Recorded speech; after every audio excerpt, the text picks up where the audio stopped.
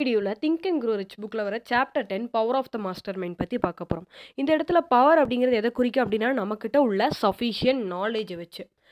ஒரு பிளான் அப்படிங்கிறது ஆக்ஷனாக எப்படி கன்வெர்ட் ஆகுதுன்னா நம்மக்கிட்ட இருக்க சஃபிஷியன்ட் நாலேஜ் வச்சு தான் இந்த நாலேஜ் வந்து நம்ம த்ரீ ஃபார்ம்ஸில் கற்றுக்குறோம் ஒன்று இன்ஃபைனைட் இன்டெலிஜென்ஸ் மூலிமா அதாவது நம்மக்கிட்ட உள்ள க்ரியேட்டிவ் இமேஜினேஷன் ஒரு மேன் இவ்வளோ வருஷமாக பார்த்தா எக்ஸ்பீரியன்ஸை வச்சு அவங்களோட க்ரியேட்டிவிட்டி அப்படிங்கிறது டெவலப் ஆகிருக்கும் அது செகண்ட் என்ன அப்படின்னா அக்யூமுலேட்டட் எக்ஸ்பீரியன்ஸ் அவர் ஸ்கூல் டேஸில் காலேஜ் டேஸில் இல்லை லைப்ரரி நியூஸ் பேப்பர் ஜேர்னல்ஸ்லலாம் கற்றுக்கிறது அப்புறம் தேர்ட் என்னென்னா ரிசர்ச் அதாவது அவரே தேடி போய் கற்றுக்கிறது அவரே ஒரு ஐடியாவை எடுத்து இது எப்படி வந்துச்சு அப்படின்னு கேதர் பண்ணி அனலைஸ் பண்ணி அந்த ஃபேக்ட்ஸை கொண்டு வந்து அவரே வந்து ஓனாக கற்றுக்கிறது ரிசர்ச் இது மூலயமா மட்டும்தான் ஒரு மேன் அப்படிங்கிறவங்க நாலேஜை கற்றுக்க முடியும்.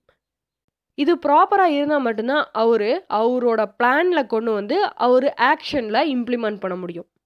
இந்த வீடியோவில் இருக்கிற டாப்பிக்கே வந்து power of the mastermind mastermind அப்படின்னா குரூப் ஆஃப் பீப்புள் ஒரு காமன் கோலை நோக்கி போகிறது சிங்கிளாக ஒரு மனிதர் வந்து ஒரு கோலை நோக்கி போகிறத விட குரூப் ஆஃப் பீப்புள் ஒரு காமன் கோலை நோக்கி போகிறது அப்படிங்கிறது ரொம்ப ஈஸி ஃபார் எக்ஸாம்பிள் இப்போது யூபிஎஸ்சி ஆஸ்பிரன்ஸ் இருக்காங்கன்னு வைங்க.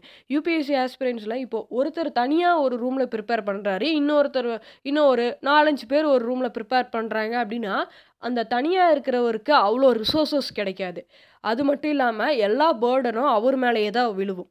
அதுவே இந்த குரூப் ஆஃப் பீப்புள் இருக்காங்க அப்படின்னா அந்த ஃபோர் டு ஃபைவ் மெம்பர்ஸுக்கு ஒவ்வொரு புக் வாங்கினா கூட போதும்.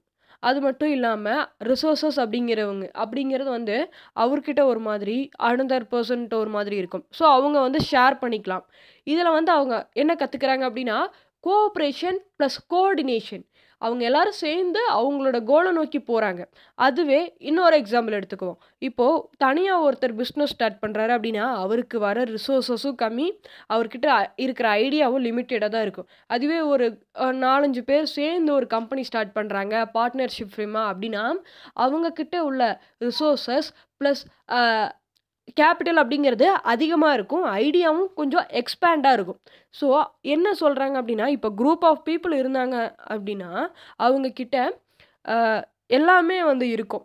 ஃபார் எக்ஸாம்பிள் இந்த இந்த நான் இப்போ சொன்ன எக்ஸாம்பிள்ஸில் நம்ம நிறையா கற்றுக்க முடியும். அதே தனியாக இருக்கும்போது பேர்டன் அப்படிங்கிறது இன்க்ரீஸ் ஆகும் அப்படின்னு இந்த இதில் சொல்கிறாங்க தேங்க்ஸ் ஃபார் வாட்சிங் வீடியோ பிடிச்சிருந்துச்சுன்னா லைக் பண்ணுங்கள் ஷேர் பண்ணுங்கள்